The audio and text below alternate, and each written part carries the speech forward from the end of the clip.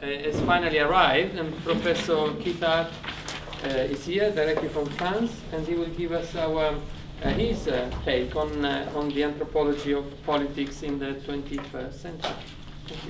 Okay, well, Mao gave me what I thought was an even more powerful title, which was what would an engaged anthropology look like in the 21st century?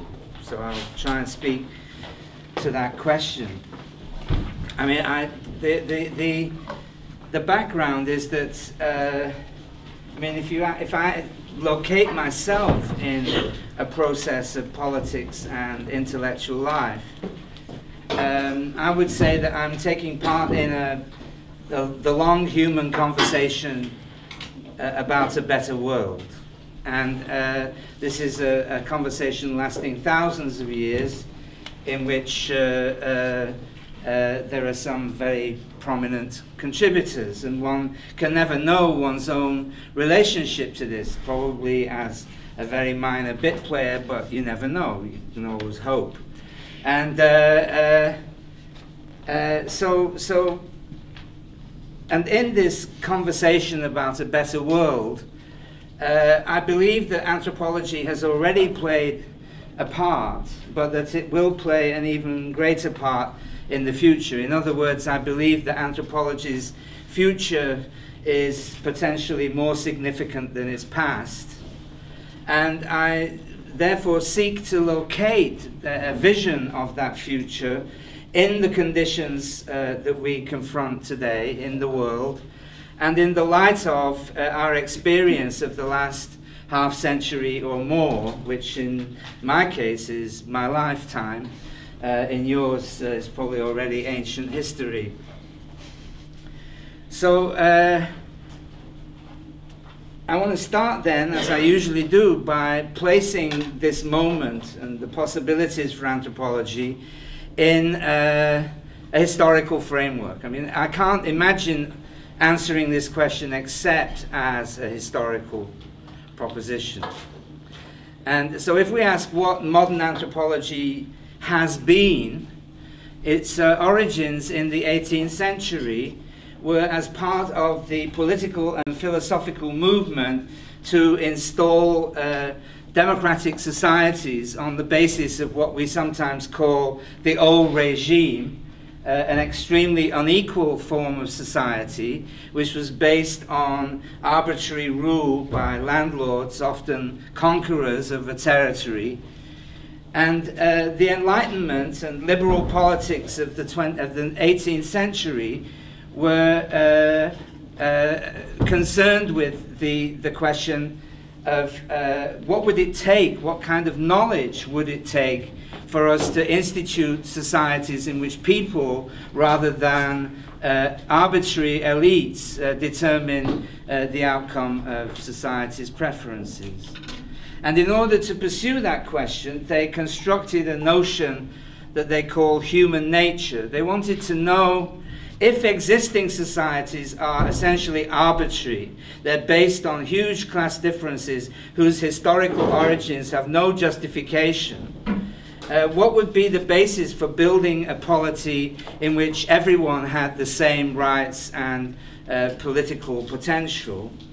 And that they felt, and it's obvious uh, the answer, they felt that uh, uh, uh, they had to find out what it was that human beings had in common so that you could build uh, new democratic constitutions on that presumption of what were uh, essentially the natural attributes of all human beings.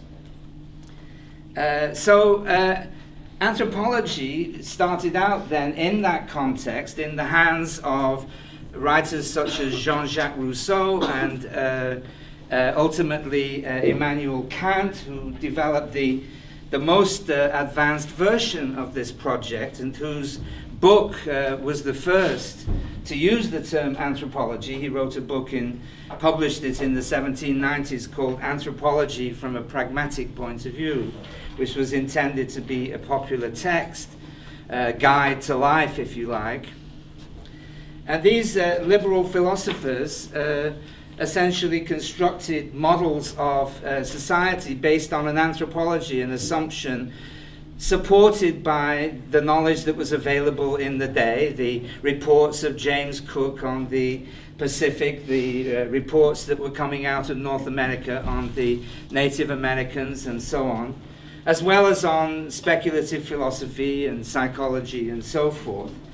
And they built this uh, notion of what humanity might be at base. Uh, uh, as a means of, if you like, giving some intellectual foundation for the political revolution that they supported, and which was manifested in this period as the English, French, American, and Italian revolutions. So, uh, uh, for me, uh, this origin of anthropology in a revolutionary politics, a democratic revolutionary politics, uh, is uh, will be its uh, its future also. I mean, I look to this period of its formation as a source of inspiration for what it might become. But in the two centuries since then, anthropology has um, uh, departed quite significantly from uh, its mission to be a democratic uh, revolutionary ideology uh, or branch of knowledge. In the 19th century, as you know, uh, anthropology became something else. It was in the core after the Industrial Revolution, the West took control of the planet very rapidly and relatively easily, par- as partly as a result of their economic strength, but also the machines that they commanded, not least uh, transport and uh, machines of death. And, and so uh, this quick takeover of the world, I mean, in 1900, uh, uh, uh, something like 80 or 90 percent of the land surface of the planet was controlled by people of European origin. So, uh, uh, and that was a very much smaller proportion, uh, of course, at the beginning of the 19th century. So, anthropology in the 19th century was less a revolutionary project and more an attempt to explain how this came about.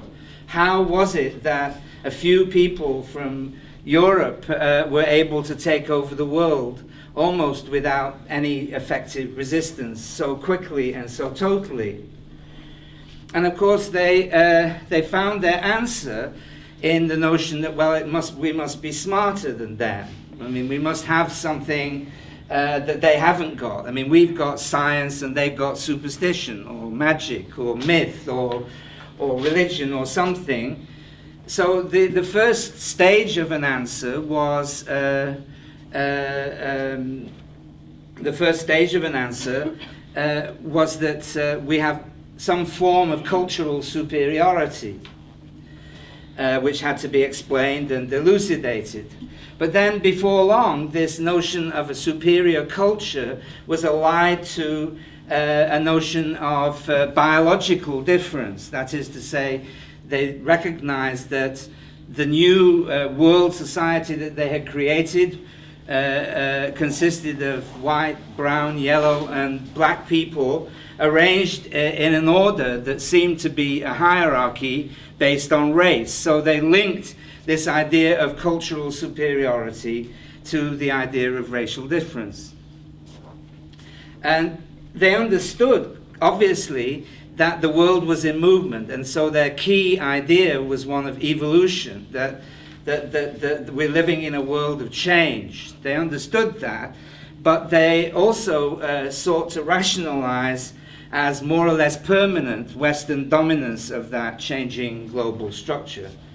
So in the 19th century, anthropology was an attempt to explain the origins and movement of the racial hierarchy that Victorians found in the world. Okay?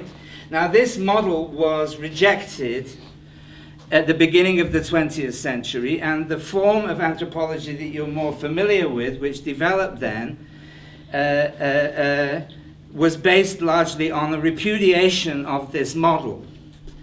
Uh, and of course, we understand it as the ethnographic movement. Now, this ethnographic movement does have profound democratic sources. It's based on the idea that people everywhere have the right to determine their own form of social existence that what matters is less how people we consider as being primitive might offer models of where the advanced civilizations once came from. That what matters is that we should understand how their societies and cultures uh, uh, uh, work for them now. Uh, so it was very much anti historicist. Uh, it was very much anchored in the present, and it was based on the idea that we can only really find out by joining them where they live and uh, discovering what they think and do uh, through some prolonged exposure to them.